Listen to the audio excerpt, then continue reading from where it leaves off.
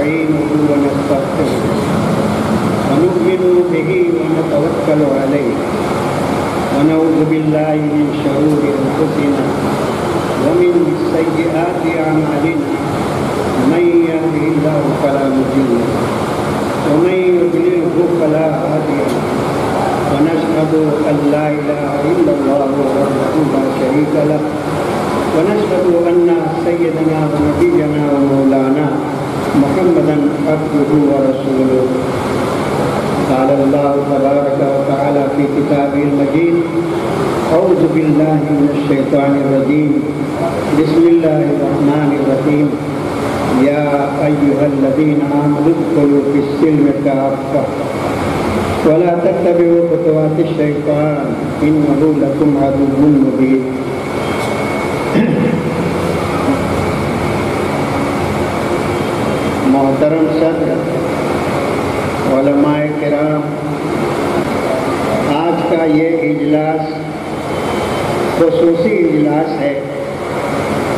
और हम लोगों के लिए, खासकर हमारे नौजवानों के लिए, तारीख का एक बाब है। मतलब ये में मुख्तलिफ़ हुकूमतों में बटा हुआ था। कहीं राजा की हुकूमत, कहीं नवाब की हुकूमत, कहीं कुछ ज़मींदार। इस तरीके से हिंदुस्तान के टुकड़े टुकड़े में हुकूमतें जारी थी।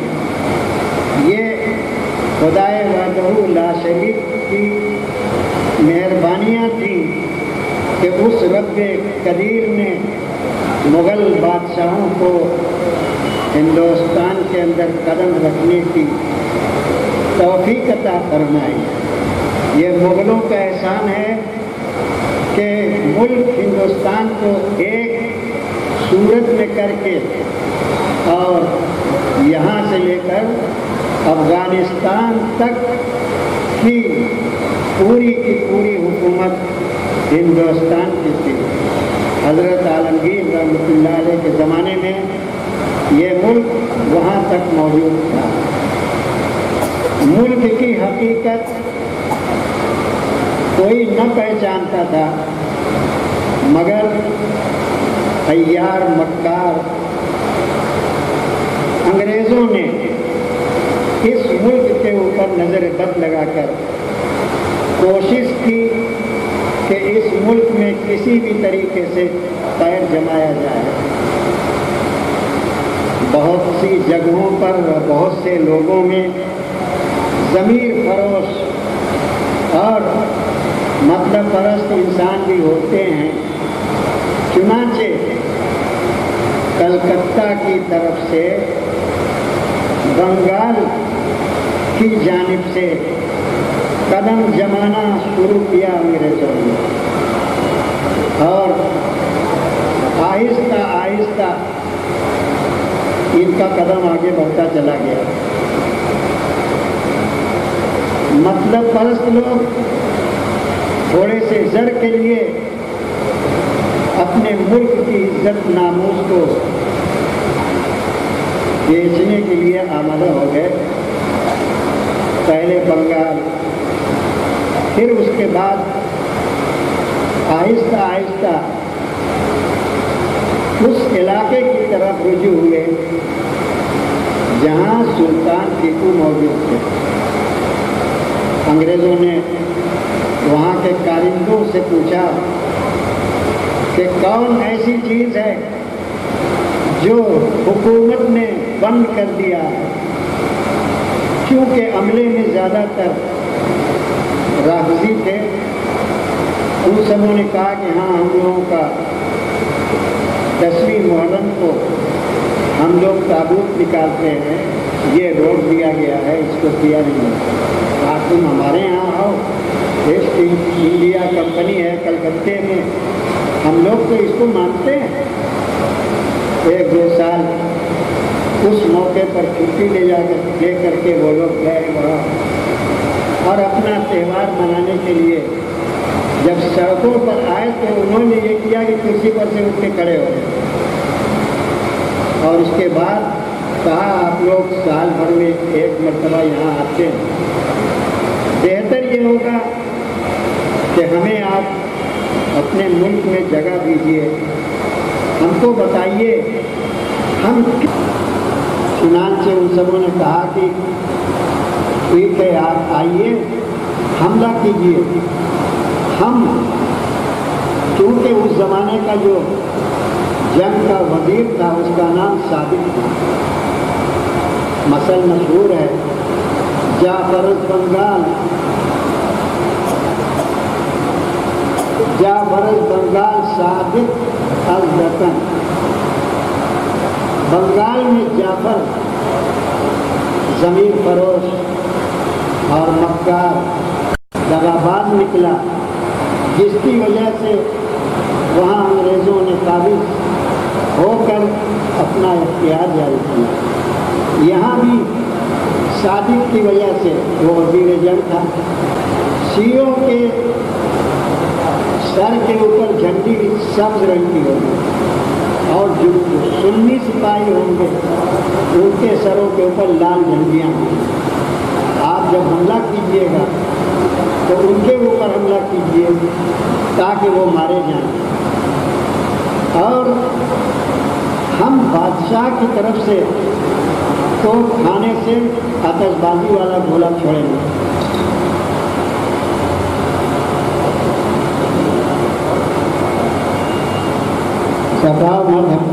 और इस गद्दार सादिक ने जो गोले उस फौज के ऊपर छोड़ना शुरू किया तो आतशबाजी वाला। जाके गिर जाए, कोई नुकसान नहीं। उधर से जो गोला आवे तो इन लोगों को नुकसान पहुँचे। और जो पहचान बताया था, उस तरह से सिपाहियों का खात्मा होने लगा। सुल्तान टीपू, नहायत बुज़ुर्ग इंसान तहजद गुजार थे। बहुत ही बाशरा इंसान थे। उन्होंने समझ लिया कि अब हम लोगों का काबू नहीं चल सकता। ये गद्दारों ने पूरा अख्तियार अंग्रेज़ों को दे दिया है। सबसे पहले अपने किले के दीवारों के इर्द गिर्द बम और बारूद के गोले बिछवा दिया। और कहा अपने सिपाहियों से कि जब ये खबर मिल जाए कि मैं शहीद हो गया तो इसमें आग लगा देना, ताकि हमारा ये किला उड़ जाए। हमारी औरतों की नामोश बाकी हो उनके ऊपर उनके इज़्ज़त के ऊपर धावा। मैंने देखा है, वहाँ जा और अंग्रेज़ों से मुकाबला किया। जिधर रुख करते थे, सैकड़ों, हज़ारों की तादाद में तलवार के नीचे कर दिया करते थे, उन सबों को हैरत होती थी कि जिन्नात है या फरिश्ता होते होते अकेला करता ही क्या? नतीजा ये हुआ कि बार बार उधर से भी जग गोले बरसाए जाते थे, वार किए जाते थे। एक ऐसी जगह पर सुल्तान को जख्म लगा कि वहाँ वो अपने घोड़े से गिरे। लेकिन मौत नहीं आई। तलवार मौजूद थी। उन सबों ने ये समझा कि अब तो ये ख़त्म हो गए। और उधर किला उड़ा दिया गया दो अंग्रेज़ बहुत मज़े से बात कर रहे थे समझा कि ये लाश है मुर्दा और वो जाग रहे होश में थे आँख बंद किए हुए थे देख रहे थे कि किधर इनकी निगाहें हैं हमने उस जगह को भी देखा है सुल्तान ने उन दोनों को मौका पा करके तलवार से इस तरह जख्मी किया कि घुटने से पाँव दोनों का कट गया और वो सब गिर पड़े। एक महीने तक सुल्तान की लाश वहाँ पड़ी रही। और अंग्रेज़ी में बहुत बड़ा कतबा लिखा हुआ है कि इस जाबाज शेर ने इस तरह से मरने की हालत में हमला किया। ऐसे मुल्क के बचाने की कोशिश की। गद्दारों ने साथ देकर अंग्रेज़ों को मुल्क हासिल करा उन लोगों के दिलों के अंदर ये चीज़ थी कि हमारे ऊपर ये काफिर हुकूमत क्यों करे? बहरहाल, आज भी सुल्तान टीपू का मज़ार ये जगह है। आदमी जब जाता है तो मालूम होता है कि हाँ यहाँ कोई बादशाह की हुकूमत है रोज रोज़े के सामने मस्जिद है। इस तरीके से आखिर वक्त तक मुल्क को बचाने की पूरी कोशिश की। मगर गद्दारों ने कामयाब नहीं होने दिया। इसी तरह आहिस्ता आहिस्ता पूरे मुल्क के ऊपर अंग्रेज़ों का कब्जा हो। गया हमारे अकाबिर में हज़रत शाह वलील्ला साहब मोहद्दीस दहलवी रमतुल्ला हज़रत शाह अब्दुल अज़ीज़ साहब मोहद्दीस दहलवी रमतुल्ला हज़रत शाह अब्दुल गनी साहब रमतुल्ला ये हमारे बुनियादी उस्तादों, हज़रत हजरतुल इस्लाम मौलाना कासिम साहब नामुद्दी रहमतुल्लाह हज़रत गंगोई रमतुल्लाह के साथ इन लोगों ने आज़ादी का अलम उठाया और हिंदुस्तान को आज़ाद कराने की कसम खा दी कराम, की तारीख बड़ी पड़ी हुई है। चांदनी चौक से लेकर बालाकोट तक रोड के दोनों तरफ़ कराम की लाशें फांसी के तौर पर लटकी हुई मगर हिंदुस्तान की आज़ादी लेकर हज़रत शेख मौलाना मदनी रहमतुल्ला इनका, इनके वक्त में भी अंग्रेज़ों ने मशीन गन लगाया और बारूद का गोला उसमें भर दिया। को लाते थे, पूछते थे कि अंग्रेज़ों की हुकूमत सही है या नहीं? अलमा कहते हराम है। इनकी मुलाजमत नाजायज़ है। ये मुल्क दारुल हरम है। बस गोला दाग दिया जाता था और लाशों के परखच्चे हो जाते। एक अंग्रेज़ ने अपने बीवी से कहा कि चलो, देखो कि आज़ादी हासिल करने वाले किस तरीके से अपनी जान को कुर्बान करते हैं? और ये जालिम, अंग्रेज़ हम ही में से हैं, लेकिन तरस आता है कि किस तरीके से उन लोगों की ये जान ले रहे हैं। अपने अच्छे लिबास के साथ आते थे तोप के गोले से इनको इसी तरीके से उड़ा दिया जाता है। हज़रत शैख को भी उस जगह लाया गया। हम लोगों के लिए हराम है। इनकी मुलाजमत नाजायज़ है। इनकी जान लेने के लिए खुदाए वादला शरीफ को ये मंजूर नहीं था। मंजूर ये था कि ज़िंदा रहकर मुल्क को आज़ाद करा के दारूम जैसी मसनद हदीस के ऊपर दर्श देकर वो निकालें। ये मंजूर था अल्लाह को। बिगड़ गई वो मसीह। नतीजा ये होगा कि आप ज़िंदा सलाम आपने अपने उस्ताद बुज़ुर्ग के साथ अंग्रेज़ों ने उन लोगों को भी जेल में हक है मुसलमानों का, लेकिन अफसोस इस बात का है कि वक्त के गुजरते जाते हुए ऐसे माहौल पैदा हो गए कि अब तो ईमान का बचाना बड़ा मुश्किल होने लगा। उस ज़माने में उलमा के दौर में दारुल हरब का बतवा दिया गया था, मगर नाम निहाद जो मुसलमान थे, उन लोगों ने किताब लिखा और लिख करके कहा कि ये हिंदुस्तान दारुल इस्लाम है। आज वही लोग अपने को मुजाहिद आज़ादी कहते हैं। उनमें सिर्फ़ एक आदमी ऐसे थे जिन्होंने हकीकता दिल्ली की जामा मस्जिद में फतवा दिया था। कि अंग्रेज़ों की हुकूमत हराम, इनकी मुलाजमत खराब और इनको यहाँ रहना दुरुस्त नहीं। उनको काला पानी दे दिया गया। और इसके अलावा कोई लोग नहीं, जितने लोग थे, सब हम लोगों के अकाबिर थे हिंदुस्तान के पूर्वी इलाके से लेकर पश्चिमी इलाके तक ने कुर्बानी देकर इसका सबसे पहला वज़ीर आला संतुलन था उसने ये कानून लागू किया, जैसे आज ये योगी मियाँ हैं तरह तरह का बेजानी बुझे कानून लागू कर रहे हैं।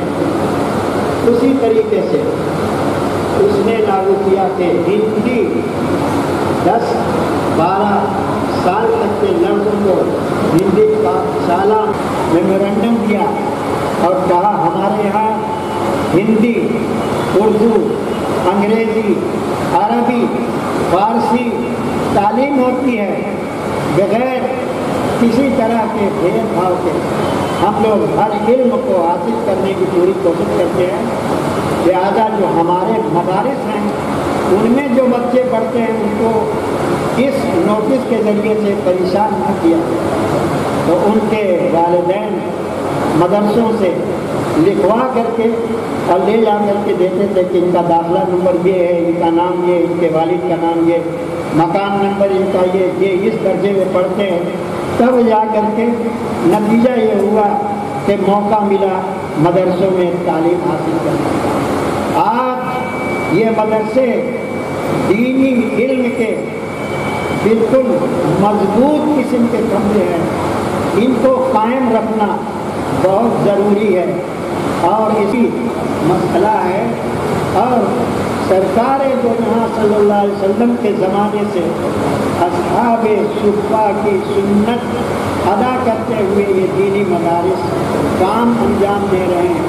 हिंदुस्तान के हर शहर के अंदर और हर सूबे के अंदर मदारस दीनी तालीम दे रहे हैं। मुसलमानों को उसकी तरफ़ मुतवजा होना चाहिए।